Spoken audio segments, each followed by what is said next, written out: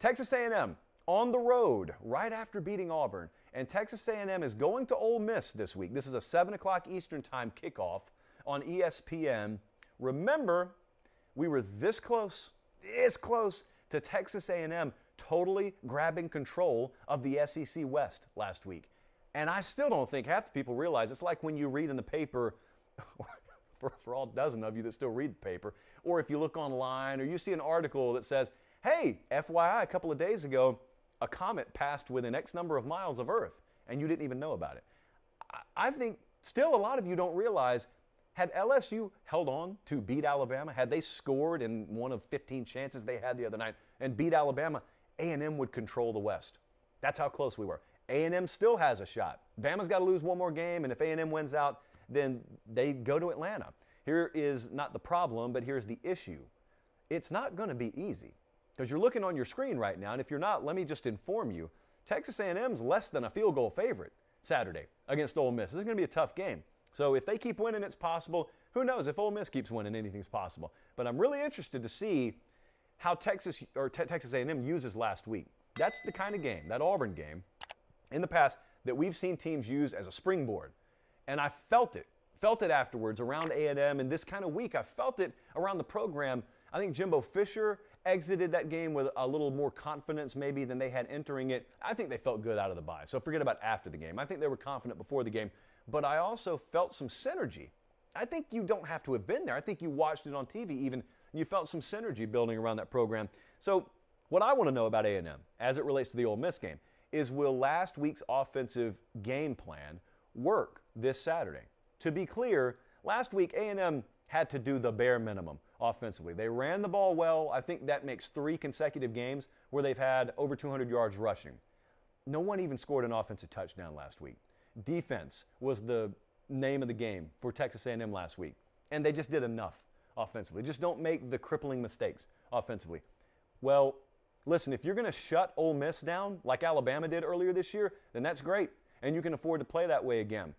But I think we need to take a little bit closer look at what Alabama was able to do. Because on the surface, you may think, well, if Bama did it, we got the better defense than them this year. So if they executed that blueprint against Ole Miss, certainly we should be in the realm of at least being able to put up something like that too. Well, it depends on how Ole Miss starts the game. Because if you remember the context of that Alabama first half shutout of Ole Miss, they had two things go their way, or they forced two things to go their way. Number one, Ole Miss going for it on fourth down several times and Bama not allowing it. That's number one. And then number two, Bama made them pay for it with explosive plays through the air offensively. I don't doubt that A&M is capable of standing tall on third and fourth down against Ole Miss. Sometimes that stuff has some variance about it over the course of one game, but I don't doubt they can do that. What I do wonder is if they can take advantage and you turn on this game and it's 13 or 17 to nothing Ole Miss early in the game, or 13 17 to nothing A&M. Have they taken the early lead? Because if you do that, then obviously you're having it shape up as that kind of game.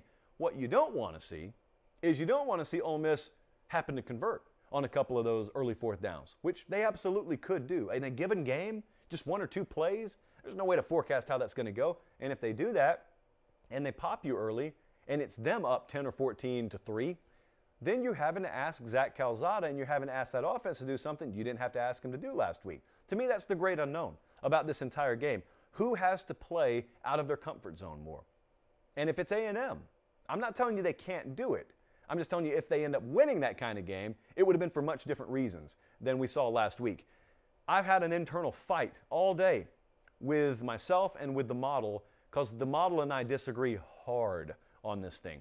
In fact, I actually sent our guys, I sent producer Jesse my pick on this game earlier today.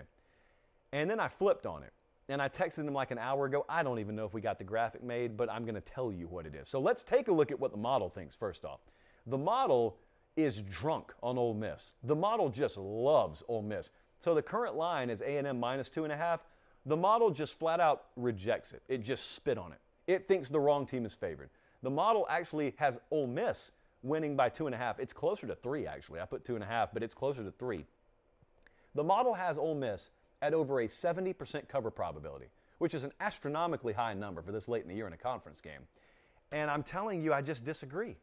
I really think that what's happening, let me explain why I disagree, not just flipping a coin here.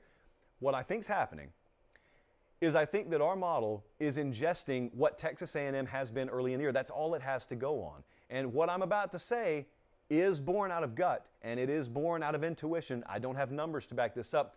I really feel like there's some synergy with this A&M team right now, and I also feel like what they were, which is again the data cluster that is taken into account by this model, I don't necessarily know if that's the best representation of the team they're going to put on the field this Saturday. Also, this is the time of year where depth becomes a lot more paramount. And while we do factor that into the model, I don't know if it's quantified quite to the degree when you stack all these things on top of each other that it should be. So I do think the right team is favored. And whereas earlier today, I lazily sent producer Jesse and director Colin, uh, Ole Miss will win. Let's just pick Ole Miss. I was riding the model. I'm going to argue the model. I'm going to backhand the model. It's been really good to us. I normally lose these battles. Uh, but I got to go with what I actually think is going to happen. I think Texas A&M is going to win, and I think Texas A&M is going to cover Saturday. And if they do, that keeps the pressure immensely on Alabama, and it keeps this bright marquee around the Iron Bowl uh, coming up later in November. So I'm going to take Texas A&M to win. The model disagrees. One of us is going to be right, and I can assure you, we have just set this prediction up to where no matter what, the show will be able to claim credit.